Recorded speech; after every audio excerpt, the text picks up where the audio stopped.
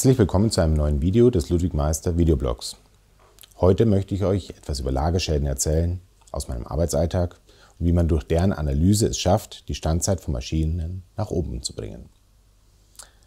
Wir haben im Video Lagerschäden am Elektromotor bereits zwei Schäden oder zwei typische Schäden behandelt. Der erste ist ein Stromschaden.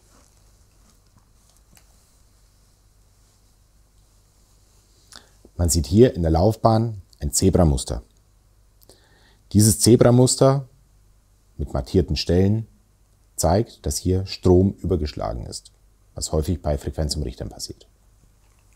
Der zweite Punkt, der bereits behandelt wurde, ist das Handling von Lagern.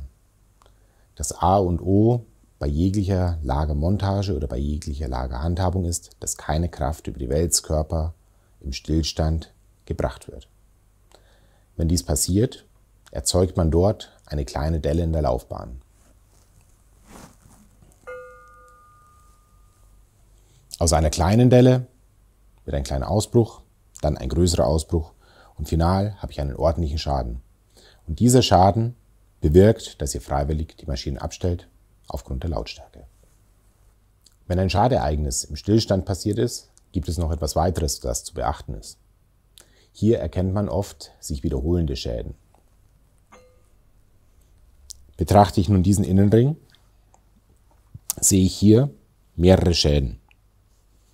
Um festzustellen, ob diese tatsächlich im Stillstand passiert sind, bietet es sich an, den Käfig zu nehmen, drüber zu setzen und dann zu prüfen, ob hier im Abstand der Wälzkörper immer wieder eine Schädigung auftritt. Ein weiterer Schaden, den ihr selbst sehr gut beobachten könnt, sind die sogenannten Laufspuren.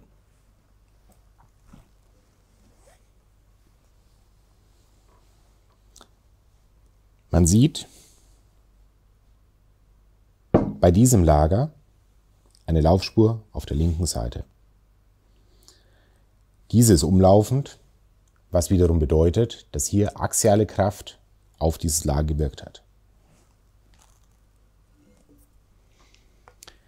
Nehme ich nun noch den entsprechenden Außenring hinzu, sehe ich die Laufspur auf der rechten Seite. Zusammen ergibt dies, dass das Lager axial stark belastet wurde. Habe ich nun eine Walze, die nur radiale Kräfte erfährt, wäre für mich klar, dass diese Axialkraft nicht sein dürfte. Dann müsste ich der Schadensursache auf den Grund gehen. In diesem speziellen Fall haben wir eine vertikale Welle die axiale Kraft gehört zur ganz normalen Maschinenbedienung hinzu. Als nächsten Schaden möchte ich noch einen Rillenkugellager Außenring zeigen. Hier seht ihr eine blank polierte Oberfläche in der Mitte der Laufbahn.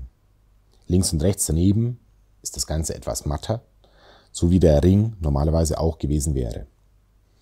Diese blank polierte Oberfläche entsteht, wenn die Kugel in der Laufbahn auf den Ring trifft und nicht mehr durch einen Schmierfilm getrennt wird.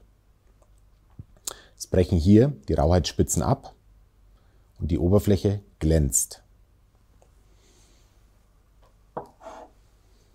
Das bedeutet für euch, sobald die Oberfläche stark glänzend erscheint oder wie poliert erscheint, habt ihr irgendwo ein Problem mit der Schmierung. Betrachtet man nun das Fett aus dem Lager, sieht man ein schwarzes Fett mit Messingpartikeln drinnen und auch von der Konsistenz her ist dieses nicht mehr ganz optimal.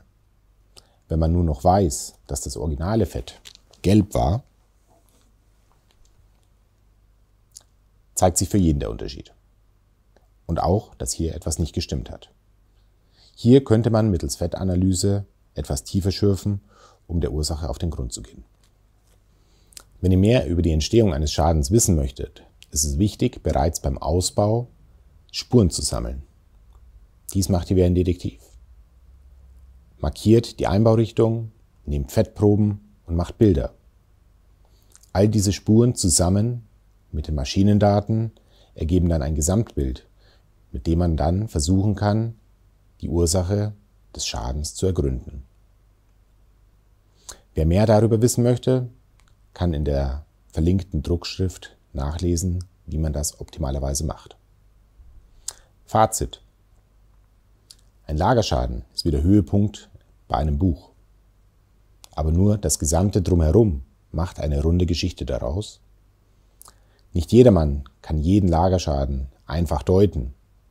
Wenn man jedoch die Schäden und die Maschinengesamtdaten zusammenfasst, bekommt man ein rundes Bild und kann oft den Maschinenzustand so verbessern, dass die Schäden nicht mehr so schnell auftreten. Wenn ihr also Fragen zu Lagerschäden habt, kommt gerne auf uns zu. Das war's für heute. Danke fürs Zuschauen. Wenn es euch gefallen hat, freuen wir uns über Likes, Kommentare und natürlich Weiterempfehlungen. Und ganz wichtig, wenn ihr Fragen oder Anregungen habt, schreibt bitte einfach in die Kommentare hier unter dem Beitrag. Um auch die nächsten Videos auf unserem Kanal nicht zu verpassen, am besten gleich abonnieren. Bis zur nächsten Ausgabe des Ludwig Meister Videoblogs.